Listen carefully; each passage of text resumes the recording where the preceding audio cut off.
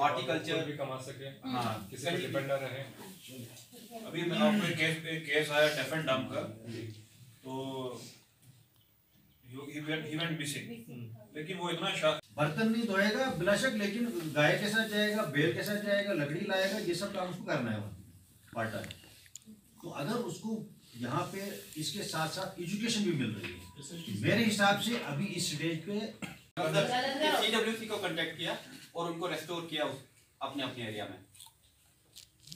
दूसरी बात, ये जो आप सजेशन कह रहे हैं, देखो, जब भी किसी स्कीम को ये ट्रायल जब सोसाइटी में एक्चुअल वर्किंग हो जाती है ना, जैसे आपने सवाल किया कि भाई डोमेस्टिक हेल्प के बारे में क्या है, बहुत अच्छी बात है क्योंकि अगर गवर्नमेंट को भी पता है कि या तो उनका वो जो फ्यूचरिस्टिक अप्रोच लेके चल रहे हैं कि हमारा बच्चा मड़वा में या चिनगाम में या कहीं दूर दराज इलाके में अच्छी तालीम नहीं है वो उस मदरली लव को सेक्रीफाइस करके उसको नाइन्थ में या एट्थ में ही बाहर भेज रहे हैं। कभी डोमेस्टिक हेल्प जो घर में होते हैं, उनके साथ जो ज्यादती होती है वहाँ बहुत सारे वीडियोस हमने भी देखे हैं। आदमी का मतलब कलेजा फटता है उस टाइम कि ये किस किस्म के इंसान हैं, दरिंदे हैं, जो इस तरह ऐसा।